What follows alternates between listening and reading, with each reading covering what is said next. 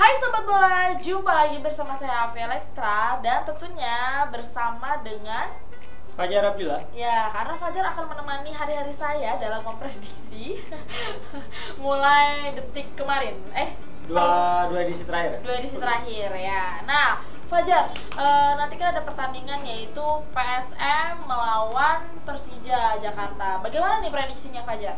Kalau dari pertemuan pertama di putaran pertama kemarin di kandang Persija Kedua tim sih memang bermain imbang dua sama ya Oke Dan kalau dari enam pertemuan terakhir PSM lebih banyak menang itu dua kali Hmm. Kemudian Persija sekali dan eh, sisanya berakhir imbang Jadi Oke, oke apalagi besok PSM main di kandang sendiri dan Hmm. punya motivasi untuk mempertahankan posisi punya klasemen Jadi kayaknya PSM yang menang untuk prediksi Fajar PSM yang menang. Oke, kita lihat ya untuk prediksi.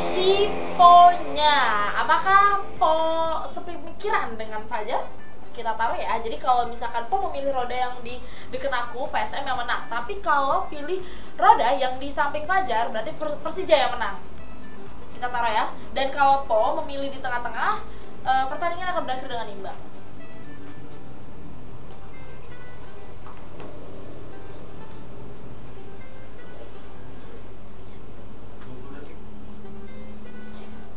Jika 20 detik Po tidak memilih eh, ketiga dari roda tersebut, maka kita akan ulang lagi. Kita ambil dan kita taruh lagi.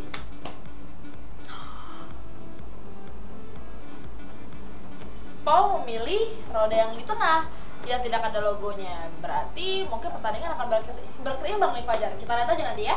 Dan aja minggu depan Ya, oke.